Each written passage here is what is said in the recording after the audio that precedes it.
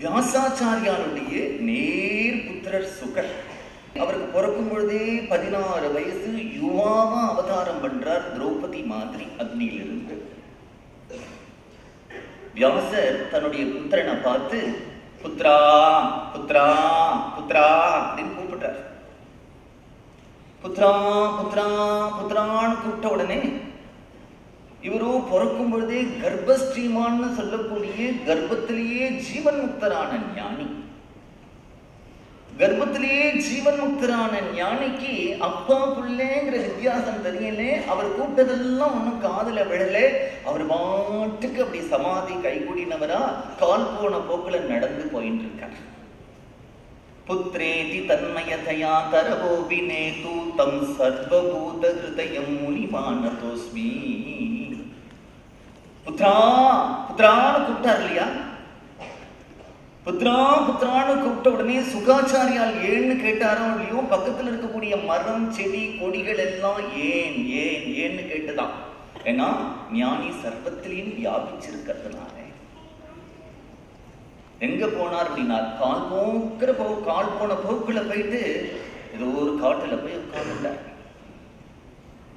காட்டுல போய் உட்கார்ந்துட்டு அப்படியே நிர்விகல்ப சமாதி கை கொடுத்தவருக்கு கண்ணை முடிண்டு நம்மாழ்வார் எப்படி ஒரு புளியம் கொண்ட அடியிலே வருஷக்கணக்காக சமாதியில் இருந்தாரோ? பகவான் ரமணர் எப்படி அருணாச்சலேஸ்வரர் கோவிலில் பாதாள குகையில சமாதியில நாட்கணக்காக இருந்தாரோ? அது மாதிரி லோகமே தெரியாத பிரக்னையே இல்லாத ஒரு நிர்விகல்பமான சமாதியிலே அப்படியே உட்கார்ந்துட்டு எவ்வளவு நாட்கள் எவ்வளவு மாதங்கள் எவ்வளவு வருடங்கள்னு தெரியல. அப்படியே இருந்துட்டு இருக்கார் வியாசருக்கு நிறைய சிஷ்யால் இருக்கா இல்லையா? குருவுக்கு வேண்டிய கைங்கரியங்கள்லாம் பண்ணுவாங்க அத்தகைய குருவுக்கு என்ன வேணும் அப்படின்னுட்டா சமைத்து வேண்டிருக்கும் பழம் வேண்டிருக்கும் தர்ப வேண்டிருக்கும் புஷ்பம் வேண்டிருக்கும். இதெல்லாம் காட்டுல அதிகமா இருக்கிறதுனால குழந்தைகள் எல்லாம் காட்டுல போய் குருநாதருடைய சேவைக்கு வேண்டிய புஷ்பம் தர்ப சமைத்து பழங்கள் எல்லாம் பறிச்சுட்டு வருவா. வியாசருடைய சிஷியர்கள் எல்லாம் காட்டுக்கு போகும் பொழுது குருநாதாள்கிட்ட வந்து சொல்றா காட்டுக்கு போகிறதுக்கு எங்களுக்கு பயமா இருக்கு. ஏன் காட்டுல இப்ப சிங்கம் புலி சிறுத்தை கரடி போன்ற துஷ்ட மிருகங்கள்லாம் ஜாஸ்தி ஆயிடுத்து நாங்க தனியா போனா எல்லாம் சீரிண்டு கர்ஜனை பண்ணிட்டு வருது. காட்டுக்கு இனிமே நீங்க போக மாட்டேலா? அப்படி சொல்ல முடியுமா? என்ன பண்ணணும்? நீங்க ஏதாவது ஒரு மந்திரம் எங்களுக்கு உபதேசம் பண்ணினீர்களானால் நாங்க காட்டுக்கு போனோடைய ஹோம் பட் அப்படின்னா அந்த சிங்கம் ஓடி போயிடணும் பயந்துட்டு.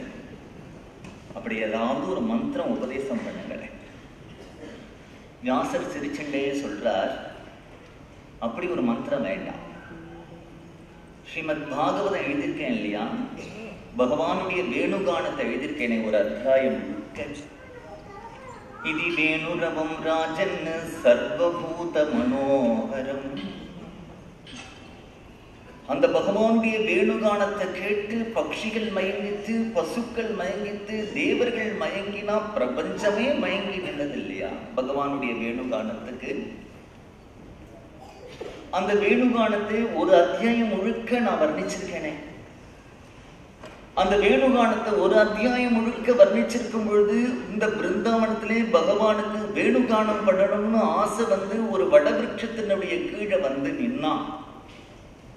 பக்கத்துல ஒரு மூங்கில் இருந்தது. இந்த மூங்கில் அப்படி பறிச்சு அதுல தொலை போட்டு கையில அப்படி லாவகமா வச்சுருந்தான் பகவான் கால வித்தியஸ்தபாதனா அப்படி மாற்றி வச்சுட்டு கழுத்துல ஒரு வைஜெயந்தி மாலை பீதாம்பரம் தலையில பெரிய மயில் பீலி பகவான் அப்படி ஒய்யாரமா சாஞ்சு நின்னுட்டு அப்படியே வேணுகானம் பண்ண ஆரம்பிக்கிறார்.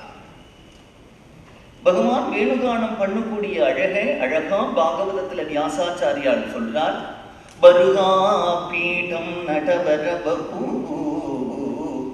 கர்ணயோ கர்ணிகாரம் விப்ரத்வாசகா கனகபிஷம் वैजयन्तीञ्जमालाभ्रन्त्रान् वेणोरदनसुतया पूरयङ्गोपवृन्तैः बृन्दारण्यं स्वपदरमणं प्राविश गीतकीर्तिः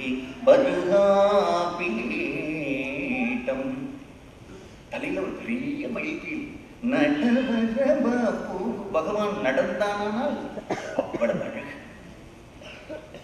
இன்றைக்கு ஸ்ரீரங்கத்திலே பகல்பற்று உற்சவத்திலே ராபத்து உற்சவத்திலே பகவானுடைய சிம்மகதி கஜகதி சர்பகதி ரிஷபகதி. அர்ச்சாவதாரத்திலேயே இவ்வளவு நடை அழகு உடையவனா இருக்கக்கூடிய பகவான் விபவாவதாரத்திலே எத்தகைய நடை அழகு உடையவனா இருப்பான்? காதல கர்ணிகா புஷ்பங்கிற ஒரு புஷ்பத்தை வச்சுட்டு வைஜந்தி மாலை அத்தகைய பீதாம்பரத்தோடு பகவான் நின்று குழல் ஊதக்கூடிய இந்த ஒரு ஸ்லோகத்தை எடுத்து தன்னுடைய சிஷ்யாளுக்கெல்லாம் உபதேசம் பண்ணி காட்டுல ஏதாவது துஷ்ட மிருகங்கள் வந்ததுன்னா நீங்க இந்த ஸ்லோகத்தை எல்லாம் சொல்லுங்க போதும் இந்த குழந்தைகள்லாம் மறுநாளைக்கு என்ன பண்ணினா இப்படி சமைத்து எடுக்கிறதுக்கெல்லாம் போகும் பொழுது அங்கிருந்து ஒரு சிங்கம் வரும் அங்கிருந்து ஒரு புளிய பார்ப்பா. பார்த்த உடனே இந்த குழந்தைகளை குருநாதர் சொல்லி கொடுத்துட்டாரு. வருகாபீட்டம் நடவர பாபு கர்ணயோ கர்ணிகாரம். பிப்ரத்வாசகா கனக கபீஷம். அப்படின்னு அந்த ஸ்லோகத்தை சொல்லுவான் சொன்ன உடனே என்ன ஆகும்னா இவன் நினைச்சுட்டு இருந்தா அந்த புலி சிங்கங்கள்லாம் பயந்துட்டு ஓடும்னு இப்ப பயப்படல. அந்த பகவானுடைய வேணுகானத்தை வர்ணிக்கக்கூடிய அந்த அந்த ரூபத்தை வர்ணனையா இருக்கக்கூடிய அந்த ஸ்லோகத்தை கேட்டு அதெல்லாம் நாய்க்குட்டி மாதிரி இந்த குழந்தைகள்கிட்ட வாலாட்டிட்டு நான் காலை நக்கி கொடுத்துட்டு பக்கத்துல வந்து படுத்துன்றது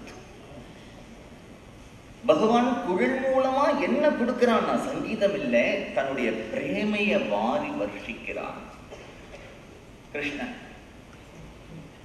இப்படியே இவர்கள் வருகாபீட்டம்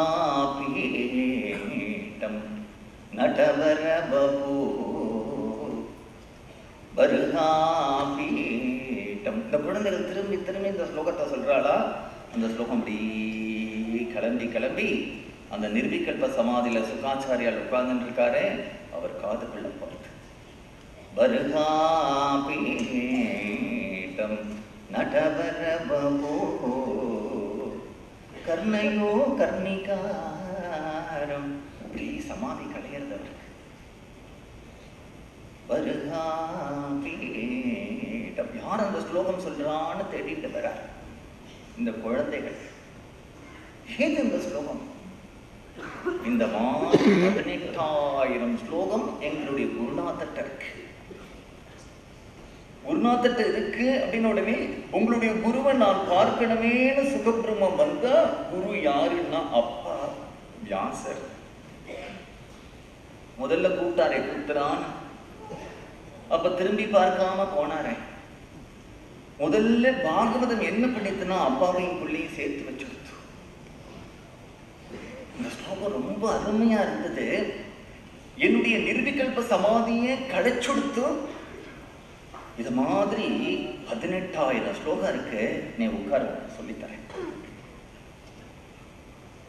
எப்படி சொல்லி கொடுத்தாருன்னா சுகம் அத்தியாபயா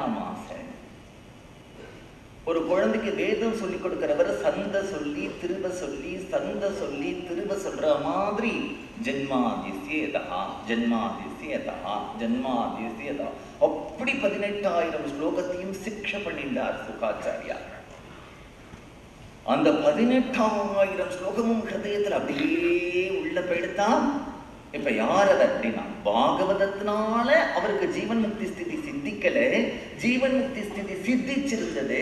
அந்த பாகவதம் அந்த ஸ்திதியில இருக்கக்கூடிய ஆனந்தத்தை திரும்பி அதை வந்து தேங்கின குட்டையா இருக்கக்கூடிய ஆனந்தத்தை அது ஒரு அருவியா கடத்தி விடுறது.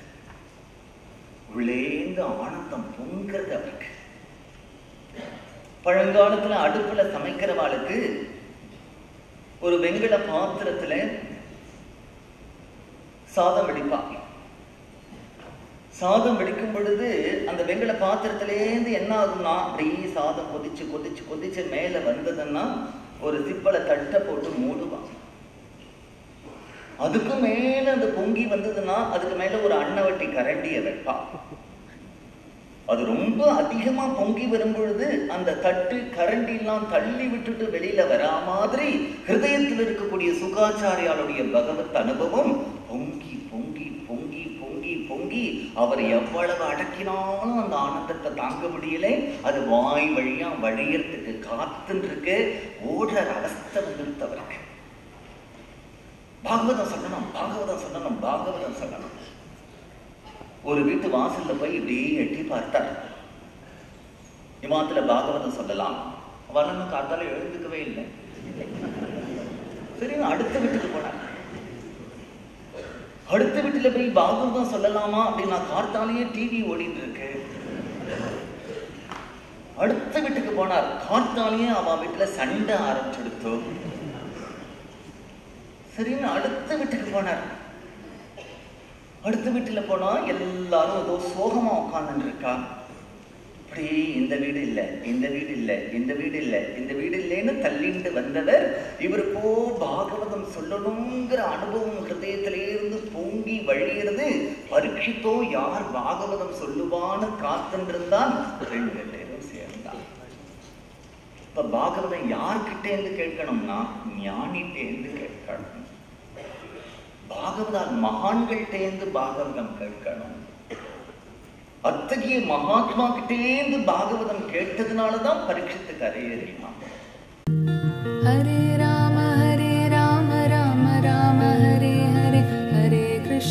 हरे कृष्ण कृष्ण कृष्ण हरे हरे हरे